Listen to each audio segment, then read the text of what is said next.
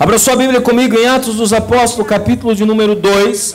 E nós queremos ler um texto da palavra de Deus com você. Os glórias a Deus, o aleluia não é proibido, você pode continuar essa festa, porque todo culto é uma festa, irmão.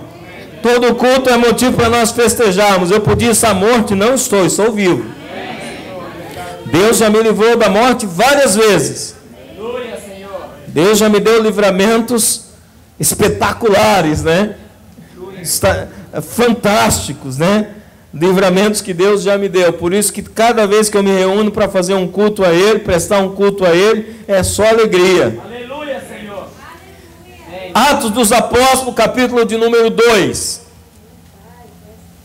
A descida do Espírito Santo. Eu não sei quantos sabem, mas hoje é comemorado no mundo cristão e no mundo judaico o dia de Pentecostes. Hoje é comemorado Shavuot, ah, em hebraico, quer dizer o quinquagésimo dia, ou o, o dia 50, depois da Páscoa. Cumprindo-se o dia de Pentecostes, estavam todos reunidos no mesmo lugar. E de repente, veio do céu o som, um som, como de um vento veemente e impetuoso, e encheu toda a casa em que estavam assentados. E foram vistas por eles línguas repartidas como que de fogo, as quais pousaram sobre cada um deles. E todos foram cheios do Espírito Santo. E começaram a falar em outras línguas, conforme o Espírito Santo lhes concedia que falassem. E em Jerusalém estavam habitando judeus, varões religiosos, de todas as nações que estão debaixo do céu. Diga, varões religiosos. Quem estava ali? Diga, varões religiosos. Da onde eles eram? Diga, de todas as nações que estão debaixo do céu. Guarda essa palavra, nós vamos falar um pouco sobre ela. E correndo aquela voz, ajuntou-se uma multidão e estava confusa, porque cada um os ouvia falar na sua própria língua. E todos pasmavam e se maravilhavam, dizendo uns aos outros: Pois que não são Galileu todos esses homens que estão falando? Como, pois, os ouvimos cada um na nossa própria língua em que somos nascidos? Partos e medos, elamitas e os que habitam na Mesopotâmia, Judéia, Capadócia, Ponto e Ásia, e Frígia e Panfilha, Egito e partes da Líbia junto a Cirene, os, e forasteiros romanos, tanto judeus como os prosélitos, cretenses e árabes, e todos os, os temos ouvido em nossas próprias línguas falar da grandeza de Deus. E todos se maravilhavam e estavam suspensos, dizendo uns para os outros: que quer dizer isso? E outros zombando diziam: estão cheios de vinho, de moço. Pedro, porém, pondo-se em pé com os onze, levantou a voz e disse-lhes: Varões judeus, e todos que habitais em Jerusalém, seja-vos isto notório e escutai as minhas palavras. Esses homens não estão embriagados, como vós pensais, sendo essa a terceira hora do dia. Mas isso é o que foi dito pelo profeta Joel. E nos últimos dias acontecerá, diz Deus, que do meu espírito derramarei sobre toda a carne, e os vossos filhos e as vossas filhas profetizarão, os vossos jovens terão visões, e os vossos velhos sonharão sonhos, e também do meu espírito derramarei sobre os meus servos e as minhas servas naquele dia, e profetizarão. Amém? Que Deus abençoe a porção da sua grande e graciosa palavra. Pai Santo, eu te peço que nesta manhã o teu Espírito venha falar conosco como sempre tens falado. Ajuda-nos, ó Deus, a transmitir aquilo que está no teu coração para a tua igreja, o teu povo. Pai, que o teu Espírito Santo, Ele mesmo, ministre nesta manhã aos nossos corações e se revele. Revela-te, Espírito Santo, no nosso meio, é o que nós te pedimos em o nome de Jesus, o amado. Aleluia. Louvado seja o nome do nosso Deus.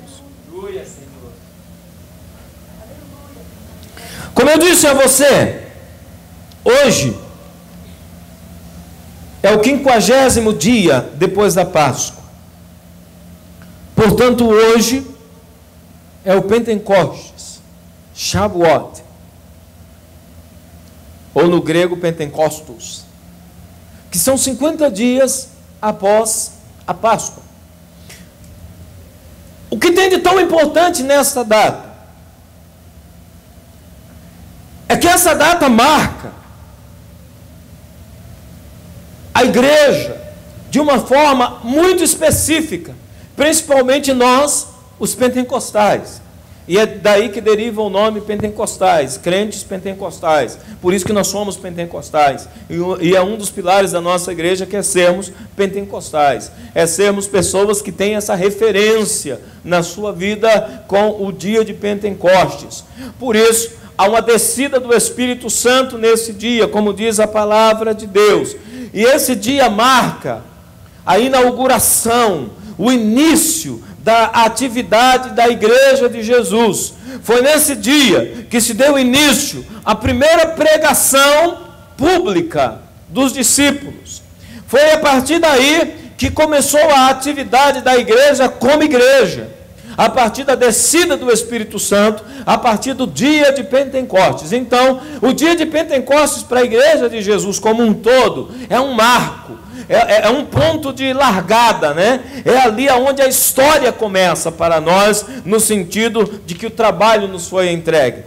o Pentecoste, ele marca, principalmente, o ministério de Jesus, ou a transferência da unção do ministério de Jesus para a igreja, porque agora Jesus ressuscitou ficou cerca de 40 dias, começa assim Atos dos Apóstolos, ficou cerca de 40 dias depois da sua ressurreição, visto por muitas testemunhas, aonde ele dava as últimas instruções para os seus discípulos para ativar o ministério deles. Durante três anos, Jesus discipulou, durante três anos, Jesus, ele ensinou, ele transferiu a sua unção sobre os discípulos, durante três anos, Jesus transferiu a autoridade autoridade, poder para os discípulos. Jesus estava ali ensinando a eles a incumbência ministerial. Mas após ele ressuscitar, ele volta para o Pai. E a Bíblia diz que muitos, cerca de 500 pessoas, estavam reunidas lá em Jerusalém no dia em que essas pessoas viram Jesus subindo aos céus em uma nuvem e aonde ele nunca mais foi visto aqui na terra. Então, a partir daquele instante, os discípulos estavam atônitos por causa da subida de Jesus para os céus. E quando ele estava subindo para os céus, os discípulos ficaram um pouco perturbados e disseram: E agora o que será de nós? Jesus voltando para eles as suas últimas palavras aqui na terra. Jesus disse assim: Olha, presta atenção, eu estou indo para o Pai. Mas eu quero que vocês fiquem aqui, não se afastem de Jerusalém, até que sobre vocês desçam a promessa, aquele que eu prometi, aquele que eu disse que não deixaria vocês órfãos nem sozinhos, eu enviarei a, a, eles a vocês, mas não se ausentem de Jerusalém, até que do alto desça o Espírito Santo, e então vocês serão cheios do poder, e aí vocês estarão sendo minhas testemunhas testemunhas poderosas sobre a terra, testemunhas com poder, testemunha não apenas com palavras, mas testemunhas envolvidas por um mistério divino chamado Espírito Santo. Quando eles receberam essa instrução, eles se trancaram dentro de um cenáculo. E a Bíblia diz que aí eles pagaram preço de oração. Eles disseram: Nós não entendemos exatamente o que, ele está dizendo. Nós não compreendemos exatamente o que foi que ele falou, porque nós ainda não experimentamos isso. Mas se ele disse, nós vamos buscar.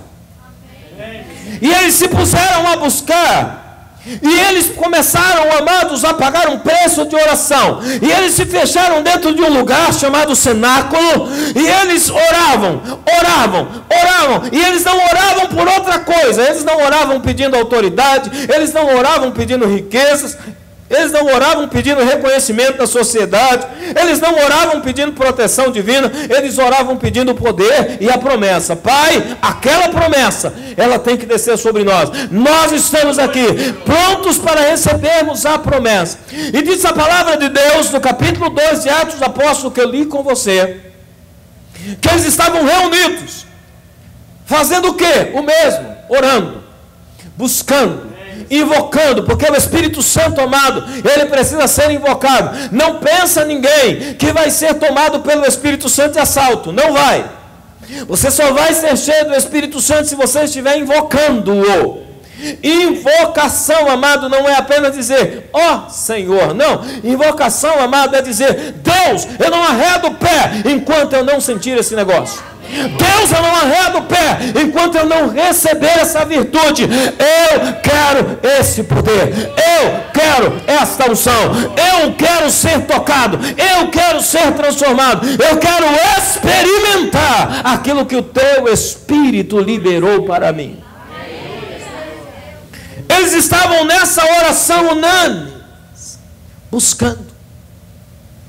A festa de Pentecostes, amado, ela foi instituída por Deus há muito tempo atrás. Conhecida em Israel como a festa das sete semanas, a festa das primícias. Sete semanas mais um. Sete semanas mais o primeiro dia. Sete semanas mais a primícia da semana, que é o domingo. Então são sete semanas desde a Páscoa mais um, que é o domingo.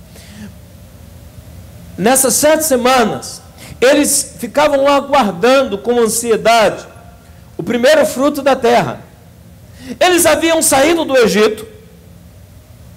E quando eles saíram da casa da servidão, da casa da escravidão, eles foram para o deserto. E no primeiro mês que eles saíram, no dia 14 do primeiro mês, eles começaram uma jornada e você conhece toda a história. Mas no dia 14 do primeiro mês, eles celebraram a Páscoa. Eles celebraram a Páscoa lá no Egito, comendo o cordeiro, comendo o carneiro, que simbolizava o cordeiro de Deus que tira o pecado do mundo. E pegaram o sangue do cordeiro, espargiram sobre os umbrais da porta, o anjo da morte identificava aquele sangue do cordeiro e não entrava, e você conhece a respeito da morte dos primogênitos no Egito, de todos os primogênitos, menos do povo que tinha marca do sangue e que estava comendo. Enquanto eles estavam morrendo, enquanto os primogênitos deles estavam morrendo, lá do lado de fora, do lado de dentro, eles estavam comendo e celebrando a Páscoa. E Deus diz: celebra rapidamente, porque pela manhã vocês vão sair dessa escravidão. Então a Páscoa simboliza exatamente isso: a, a libertação, a peça, a passagem da, da, do estado de escravidão para um estado de liberdade. Mas Deus não termina a sua história aí. Resta para o povo de Deus ainda a promessa. Quando eu sou liberto, amado, da minha vã maneira de viver, ainda tem algo que eu preciso conhecer e prosseguir conhecendo. E diz a palavra de Deus que no dia 6 do terceiro mês, no capítulo 19 de Êxodo, no dia 6 do terceiro mês, exatamente 50 dias que eles haviam saído da terra do Egito, e tem gente que não entende. Ah, mas foi no terceiro mês, como é que pode ser 50 dias? Conte do, do, dia 14 do primeiro mês ao dia 6 do terceiro mês, e você vai ver que dá exatamente 50 dias. Ao quinquagésimo dia, em Shavuot, eles chegaram ao Monte da Aliança.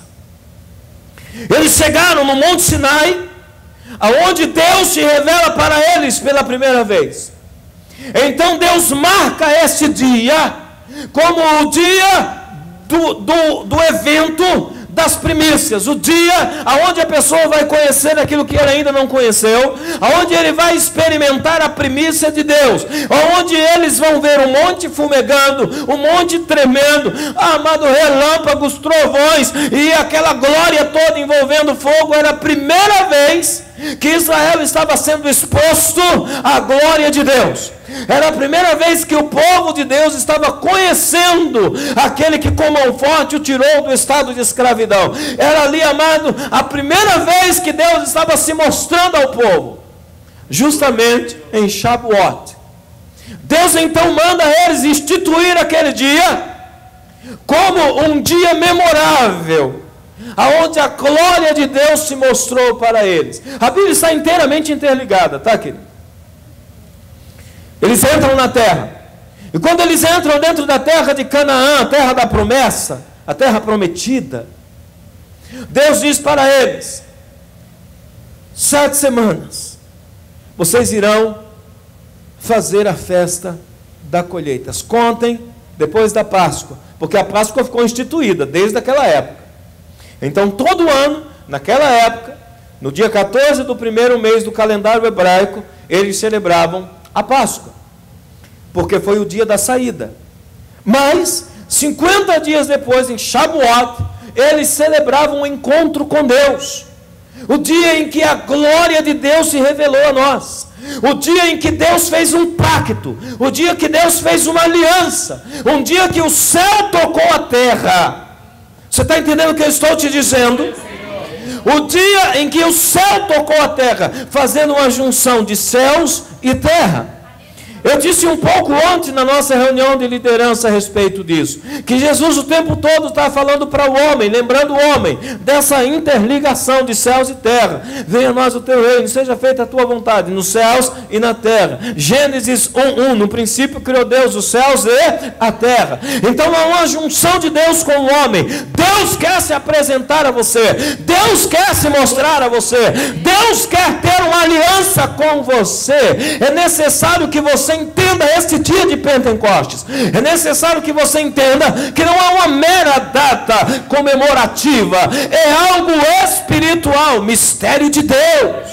Para o homem aqui na terra, é um mistério amado de uma aliança, é um mistério aonde o divino está ignorando a minha carnalidade, aonde o divino está ignorando a minha fabilidade, a minha mortalidade, e ele está propondo uma aliança de poder para mim e para você. Aonde Deus amado está olhando e não se importando de chamar um serzinho como eu para fazer uma aliança eterna com Ele. Aonde Ele está se mostrando com toda a sua glória, se despindo de sua glória e vindo ao meu encontro e me chamando para subir ao encontro dele. Foi isso que aconteceu no primeiro Pentecostes, no primeiro Shavuot. Deus chamou o povo para subir no monte, mas o povo não quis subir. O povo não quis ir com ele. Porque o povo disse o seguinte para Moisés: se nós subirmos com ele, nós morreremos. E Moisés disse: essa é a proposta. Tem pessoas que não buscam o Espírito Santo serem cheias do Espírito Santo, porque o sonho carnal vai morrer. Porque a sua vontade carnal não vai mais te dominar. O homem ou a mulher cheio do Espírito Santo, amado, ele se torna um ser, amado, visivelmente diferente. Ele se torna um ser diferente dos demais. Ele começa, amado, a falar de coisas estranhas. E o melhor, em línguas estranhas em línguas, amados, que são angelicais, em línguas, amados, que são espirituais. Há uma junção do espiritual com o mortal. E essa é a proposta de Deus para você nessa manhã: que haja uma junção do Espírito Santo com você. O Espírito Santo, amado, não é um show-off, não é apenas para você se exibir com os seus dons, amado, é uma junção é tirar, amado, uma porcaria como eu, do estado lastimável de escravidão, entrar dentro de mim e agora, amado, me levar a um nível espiritual diferenciado que eu ainda não estava lá, que eu ainda não conhecia, que eu ainda não entendia. Este é o poder do Espírito Santo de Deus transformar a vida de um homem, amado, transformar a vida de uma mulher para inserir dentro dela pensamentos e sentimentos sentimentos santos. Você está entendendo o que eu estou te dizendo, amém? O batismo com o Espírito Santo não é apenas um falar em língua. O falar em línguas é uma evidência de que houve uma junção. É uma evidência, amado, de que ele se uniu a você em uma aliança eterna. Havendo a necessidade imprescindível de buscarmos se você é alguém que aceitou Jesus como Senhor e Salvador da sua vida, você saiu do Egito, você celebrou a Páscoa, você comeu da carne do cordeiro pascual. Mas existe mais. A obra não para por aí. Existe muito mais. Existe uma obra sobrenatural, aonde é a transformação de fato. Não desprezeis o Espírito Santo, já dizia o apóstolo Paulo. Você precisa agora, amado, colocar como alvo da sua vida não apenas os benefícios da cruz, mas agora o ser cheio do Espírito Santo. Mas agora, amado, buscar algo poderoso que está em Deus e somente em Deus. Que você pode conhecer isso somente em Deus e ninguém mais, em nada mais, nada do que você fizer, amado, vai ser capaz de preencher isso. Então há uma necessidade da busca do fogo. Há uma necessidade da busca pelo poder. Há uma necessidade, amado, da busca por esse vento impetuoso do Espírito Santo invadindo o seu coração e o meu coração, nos transformando em seres diferentes. Eu quero que você entenda que o batismo como Espírito Santo transforma. O batismo como Espírito Santo faz uma aliança. Se você não é batizado com o Espírito Santo de Deus, comece a reclamar hoje. E hoje é um dia muito sugestivo por ser Pentecostes. Para a descida do Espírito Santo, para uma renovação, para uma restauração, para uma aclamação, aonde você começa, amado, a experimentar do que é divino. Do que, que você está falando, pastor? Estou falando de coisas espirituais. E a Bíblia diz que só o espiritual discerne o que é espiritual, porque o carnal fica no rasinho. O carnal olha a gente e diz: O que, é que esse cara está falando? É um doido. Mas aquele que é espiritual diz: Eu quero esse negócio. Eu quero entender esse negócio. Israel foi carnal no capítulo 19 de Êxodo. Diz: Não. Deus está fazendo uma proposta para eles, dizendo: Eu quero cumprir a promessa que eu fiz para Abraão, meu servo, transformar toda essa nação numa nação de sacerdotes, cheia de poder e autoridade que vai mudar o mundo. O mundo teria mudado ali. O mundo da, é, daquela época teria sido impactado ali. Mas eles não aceitaram. Por quê? Porque eles não estavam querendo essa junção do divino. Porque eles ainda estavam muito carnais. Eles ainda estavam muito vivos para querer morrer. Eles ainda estavam, amado, com algumas coisas, e a viagem pelo deserto vai mostrar isso. Eles ainda estavam com algumas coisas do Egito dentro deles, e é incompatível o Espírito Santo vir sobre você se ainda tem alguma coisa do Egito aí, filho. Presta atenção no que eu estou dizendo, porque tem gente que diz que pensa que é só erguer a mão e vai ser batizado tem que não ter nada do Egito aí dentro. Você tem que se esvaziar. Jesus disse isso. Você tem que se esvaziar. Tem que lançar fora tudo que ainda é referência egípcia. Tudo aquilo que ainda é referência da antiga vida, da escravidão, tudo aquilo que ainda é referência do carnal, tem que ser lançado fora.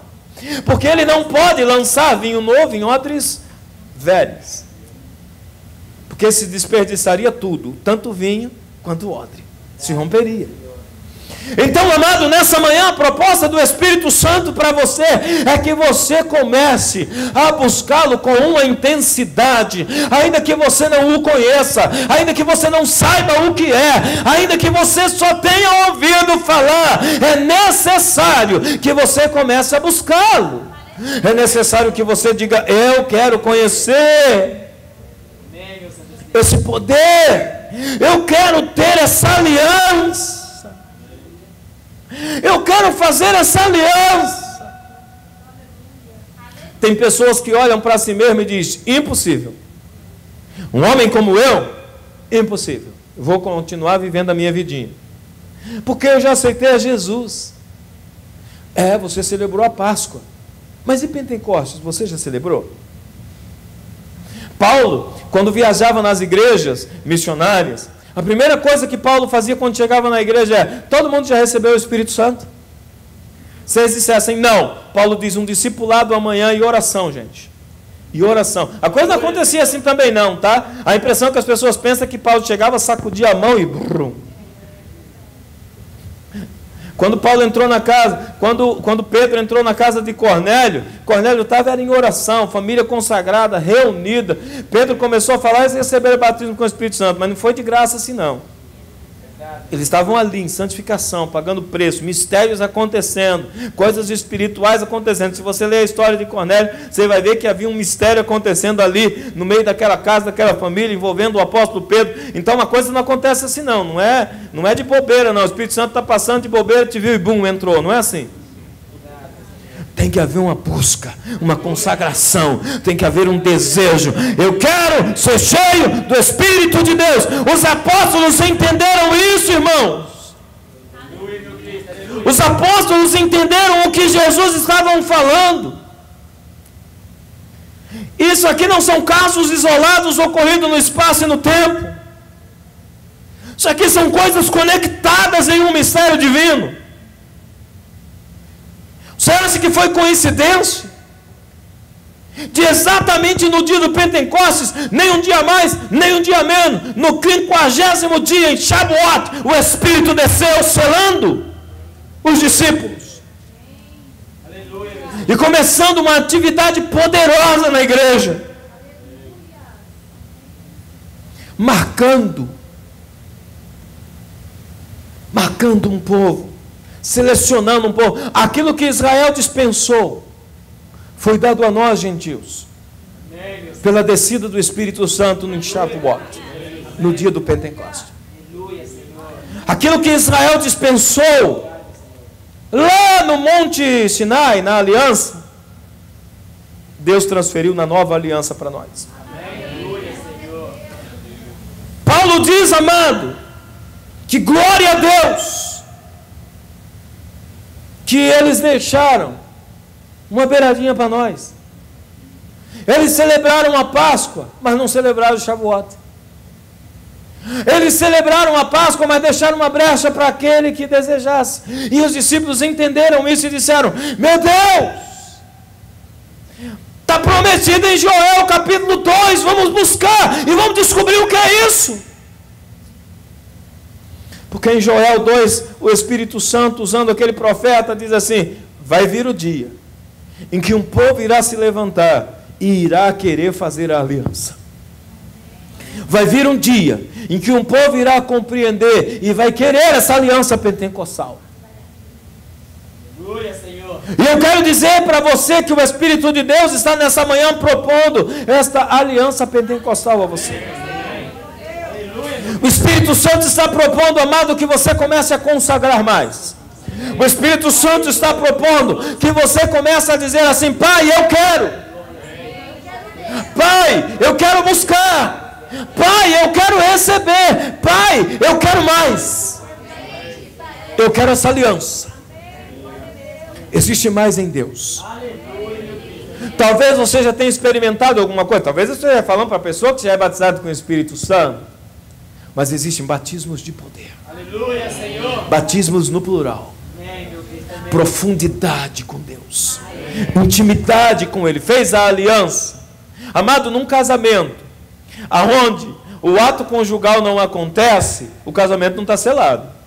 Pode ter acontecido a aliança, mas tem que haver um convívio, intimidade. Se não há intimidade, o ato não é consumado, apesar de ter uma aliança. Você entende isso que eu estou dizendo, amém? Nos tribunais, nos tribunais terrenos, amado, é possível se anular um casamento. Se não houve o ato conjugal, se não houve intimidade, é possível anular o casamento depois de tempos. Então, não anula a aliança que você fez com ele. Busca essa intimidade. De ser cheio do Espírito Santo de Deus. É possível, amado, que um homem ou uma mulher seja tão cheio do Espírito de Deus que o homem saia de cena. É tão tão provável, amado, que o apóstolo Paulo diz assim: já não sou mais eu, quem vivo. Você está entendendo o que eu estou te dizendo? É possível, amado, nós tocarmos o céu aqui na terra. É possível você viver uma vida tão espiritual, amado, que viver uma vida no espírito. E essa é a proposta real. A proposta real de aceitar Jesus, amado, não é apenas o benefício da cruz. Ah, ele levou a minha enfermidade, então, ah, Senhor, eu quero ser curado. Ah, ele levou a minha maldição, então eu quero ser abençoado. Ah, ele me fez prosperar, então me dá riqueza. Não é só essa a proposta. A proposta real é que você seja um crente espiritual, que viva uma vida no espírito. Repete comigo: vida no espírito. Vida no espírito, igreja. Essa é a proposta, vida no espírito. Homens e mulheres, amados, que estão orando em todo tempo. A irmã está cozinhando, está orando. Está lavando a roupa, está orando. Está lá no trabalho, está orando. Voltou para casa, está orando. Está no espírito, está no óleo, está na unção. O irmão está dirigindo, está indo para o trabalho, está orando. Está voltando do trabalho, está orando. Entrou dentro de casa, está orando. No espírito, na unção. Essa é a proposta do Espírito Santo, uma vida no Espírito. Não sejais carnais, mas sejais espirituais. Não façais como vossos pais no deserto, que morreram sem ver a promessa. Porque eles rejeitaram essa aliança. Amados, depois desse quinquagésimo dia aqui, eram só alguns dias para eles chegarem em Canaã se eles aceitassem a aliança. Poucos dias, amados, separava do Sinai a Canaã. Poucos dias de jornada. Durou 40 anos porque eles não quiseram ser espirituais. Se você não quiser ser espiritual, só vai dificultar a tarefa. Se você não quiser ser espiritual, se você não quiser ser um pentecostal, amado, um crente pentecostal, você pode estar girando em círculos. Girando em círculos na sua vida, querido. O batismo como Espírito Santo é muito mais do que uma experiência em falar em línguas, amado. É fazer, amado, uma, uma estrada preparada para você fluir. É por isso que Jesus diz: não saiam antes de serem cheios do Espírito Santo. Vocês vão ficar rodando, que nem vossos pais rodaram no deserto. A igreja não vai dar certo, a igreja não vai crescer, o ministério não vai fluir, vai ficar girando em círculo. Tem um monte de gente girando em círculo, ministerialmente falando, porque a carreira não está aberta. Porque querem fazer, amado, querem viver uma vida com Deus, mas não querem abrir mão da experiência do Egito. Muito embora no Egito a experiência foi de escravidão, mas tem gente que é masoquista, misericórdia. Até do açoito do Egito tem saudade. Mas Deus está chamando, querido. Deus está chamando para um novo relacionamento. Eu quero que você entenda aqui nessa manhã, filho. ainda que você não entenda a, a colocação teológica, ainda que você não entenda a, a dimensão da coisa, você não precisa disso. Você não precisa entender a dimensão teológica do negócio. Você só precisa se lançar em Deus. Aleluia, Senhor. Sim, meu Cristo Para receber batismo como Espírito Santo, olha aqui para mim. Você não precisa se auto-julgar. Porque tem gente que não recebe batismo com o Espírito Santo porque fica se julgando. Fica dizendo, eu não sou digno. Nenhum de nós somos. E é justamente por isso que é a proposta de ser batizado por Ele para você sair, amado, desse ciclo de estagnação que você sozinho não pode. O Espírito Santo ele veio, amado, com uma proposta de te fazer crescer em Deus, de fazer você experimentar coisas que você ainda não experimentou, de fazer você compreender coisas que você ainda não compreende. Ele quer abrir a tua visão espiritual. Aleluia, Senhor. Os vossos velhos sonharão, os vossos jovens terão visões, profetizarão. Um mover celestial envolvendo a humanidade. Está entendendo o que eu estou te dizendo? Amém. Quando você sair daqui, filho, os problemas lá fora vão continuar do mesmo jeito. Você vai sair daqui e você vai encontrar o mesmo problema lá fora.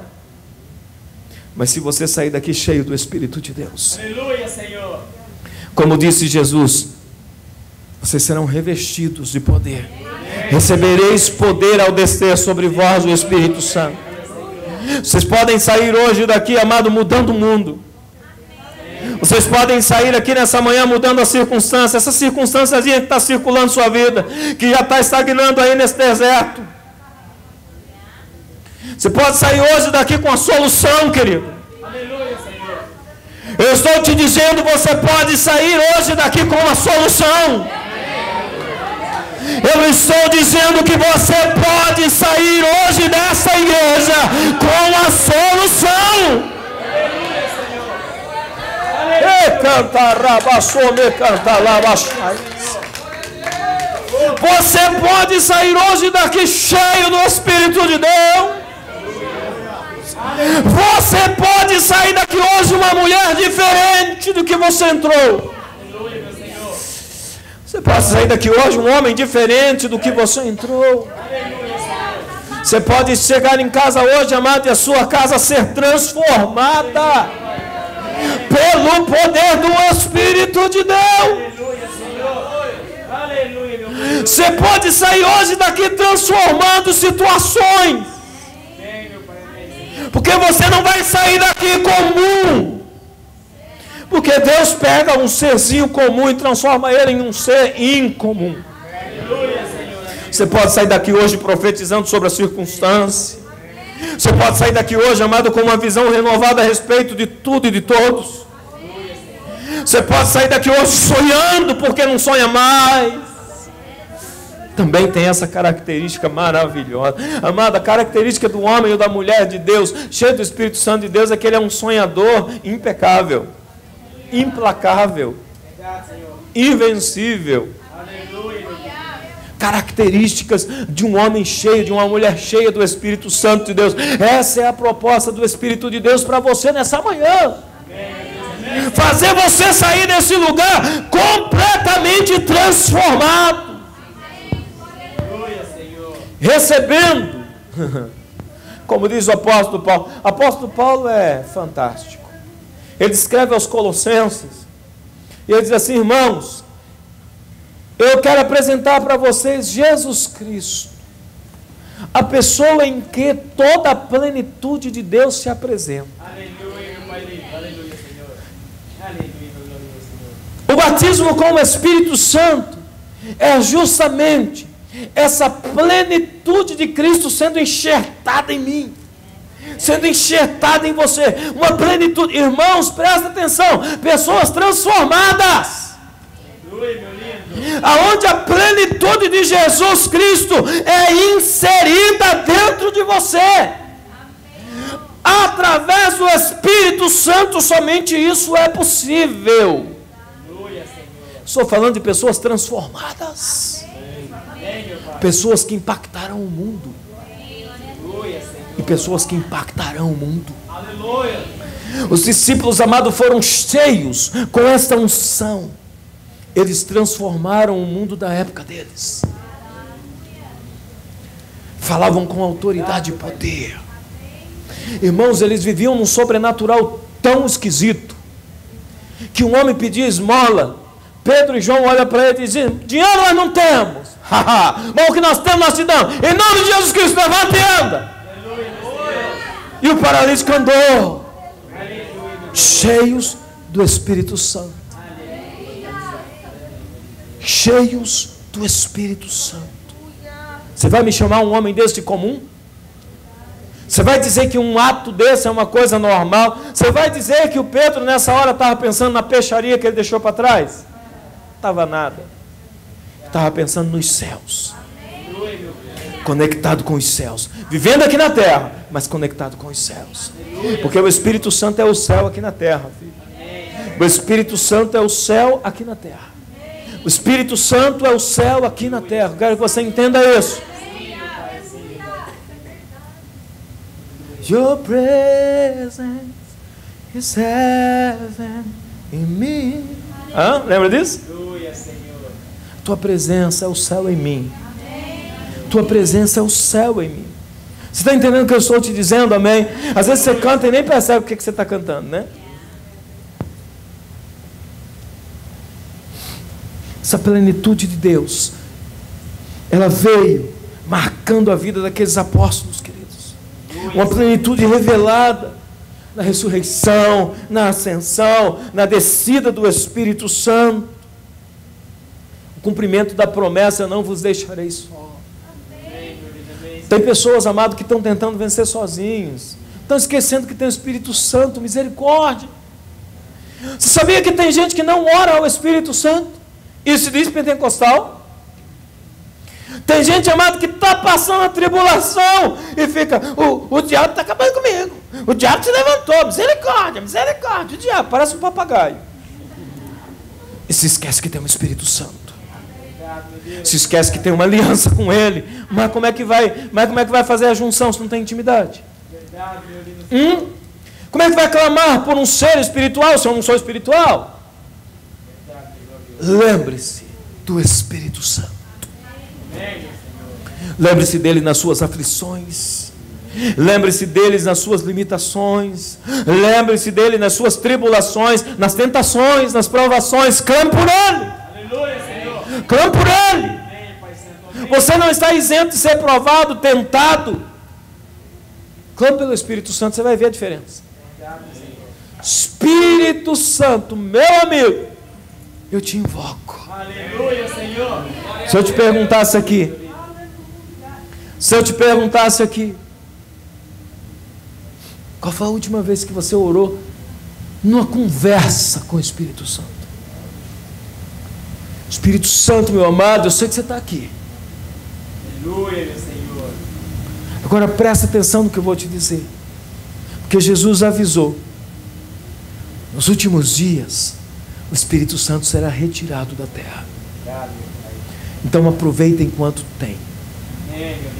Diga para o teu irmão: aproveita enquanto tem. Aproveita enquanto tem. Que será tirado.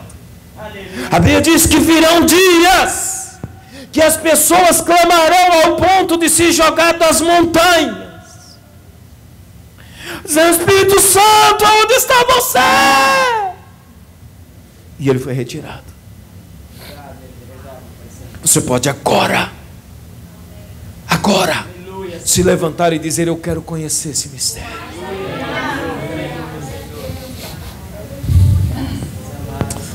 Existe um fenômeno aqui maravilhoso nesse texto que está relatado pelo Dr. Lucas, em Atos dos Apóstolos, o médico amado, Aleluia, meu Senhor. que ele fala de uma coisa espetacular, de um fenômeno que veio o som veio do céu um som como de um vento veemente e impetuoso. Não é que o vento entrou ali. Foi o som. E foram vistas por eles línguas repartidas, como que de fogo, as quais pousaram sobre cada um deles. E todos foram cheios, cheios do Espírito Santo. E começaram a, a falar em outras línguas, conforme o Espírito Santo lhes concedia que falassem. Aqueles que não são pentecostais, eles dizem assim: não, negócio de batismo com o Espírito Santo, não, não é esse negócio de falar em língua de anjo, não sei o que, não é isso não. Porque em Atos dos Apóstolos você vai ver que eles falam em línguas que se falavam no mundo, eles não entendem que aqui aconteceu um fenômeno maravilhoso.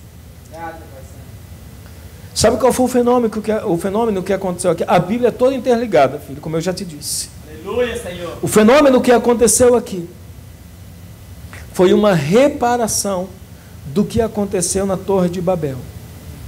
Eu não vou nem entrar porque nós não temos tempo. Nosso culto já está, nosso tempo já está esgotado. Eu quero só que você guarde isso e peça a Deus para revelar você. Em Gênesis 11, A Bíblia diz que quando o homem desafiou a Deus, quebrando a aliança da ordenança divina, em Torre de Babel, construindo a torre, a Bíblia diz que Deus disse ao Espírito Santo: Vamos descer e vamos confundir-lhes as línguas. E eles começaram a falar em outras línguas e outros idiomas que eles não podiam se comunicar mais, e então somente quem falava a mesma linguagem começou a se unir e povoaram a terra. Em Atos dos Apóstolos, não é à toa que está escrito,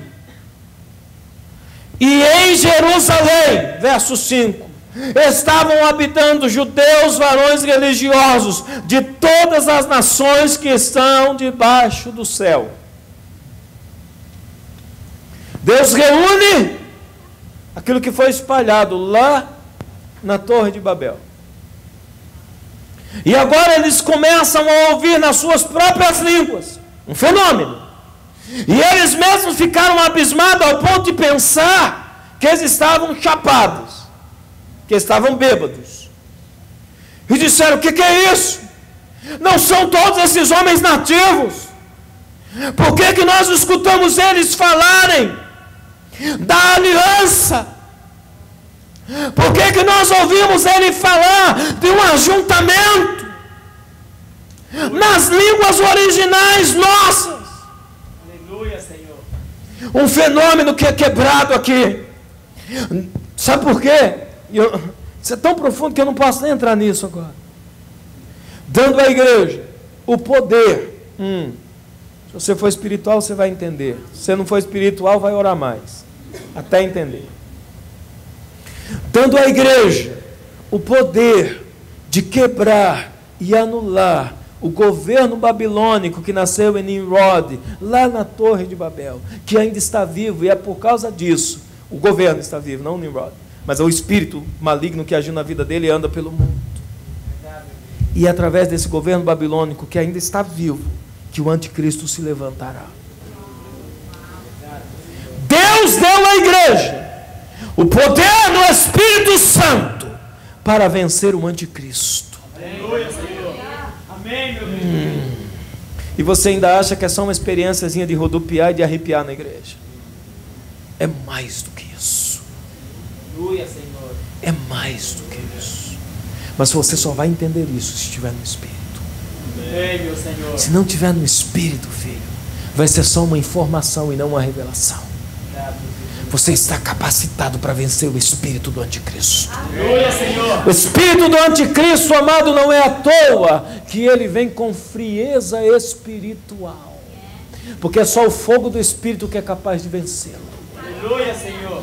É por isso, amado, que o espírito do anticristo vem com desânimo, com desacreditar, com a apostasia. O espírito da apostasia é fazer quem cria no batismo com o Espírito Santo voltar a não crer mais.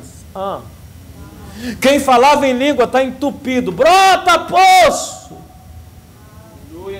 Lembra da canção do Brota Poço? É muita coisa para um dia só, irmãos. Fazer com que, amado, essa igreja esteja preparada. Aleluia, Senhor. Uma igreja que não vai apostatar da fé. Só será possível se estiver cheio do Espírito Santo. Ninguém enfrenta, amado, o espírito do anticristo sem ser cheio, sem ser pentecostal. Quem não é pentecostal, quem quer extinguir o Espírito Santo, é porque não quer lutar contra o espírito anticristo, é porque vai fazer aliança com o anticristo. Já estão pregando nas grandes igrejas americanas para extinguirmos o Espírito Santo. Recentemente, e eu não posso dar detalhes, mas recentemente, um pastor muito conhecido, se eu falar o nome, todo mundo aqui vai conhecer, um pastor americano conhecido trouxe estudiosos, eu disse isso ontem na reunião de líderes, trouxe estudiosos numa igreja de mais de 20 mil membros, para ensinar a igreja a parar de buscar o Espírito Santo que está impedindo das pessoas se converterem, para ensinar que é necessário guardar a experiência só para você, espírito anticristo, porque tem medo de crente incendiado, espírito anticristo tem medo de crente pentecostal, Mas essa igreja continuará buscando o mesmo Espírito Santo, porque o mesmo Espírito que desceu lá em Pentecoste é o mesmo Espírito que desce aqui em Shavuot. Nós não seremos crentes frios. Nós seremos incendiados, labaredas vivas. Jesus disse contra vocês: a porta do inferno não prevalecerá. Oh, Coloque-se de pé, eu quero orar com você. Eu ouço o som que vem do céu.